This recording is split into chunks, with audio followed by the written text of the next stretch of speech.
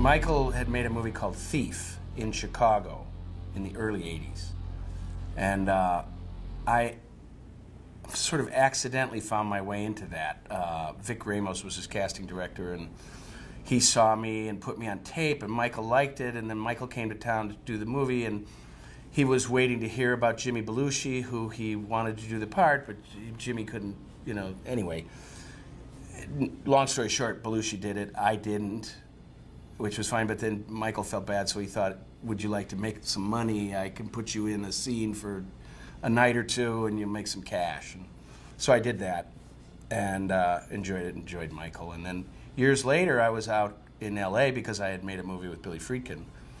Uh, in fact, we were still making that movie, and Michael wanted to get together to talk about a project that he had um, for me that, that maybe I would be in, and it wasn't Manhunter, which at the time was being called Red Dragon.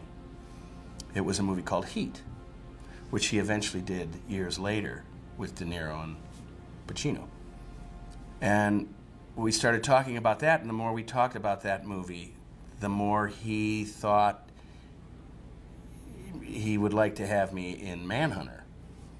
It, it took a long time for that to happen. Uh, several months because Dino De Laurentiis was involved, and Dino De Laurentiis wanted Paul Newman or whatever. And uh, he didn't know who I was. Nobody knew who I was. I didn't have an agent. Uh, I had made a movie, but Billy wasn't done with his movie, so nobody knew. But Michael felt that I should do it, and and I I was fortunate enough that, to, to get cast in it. So I mean, I was uh, I was I was thrilled. We went off to North Carolina and uh, that's where Dino had his studios.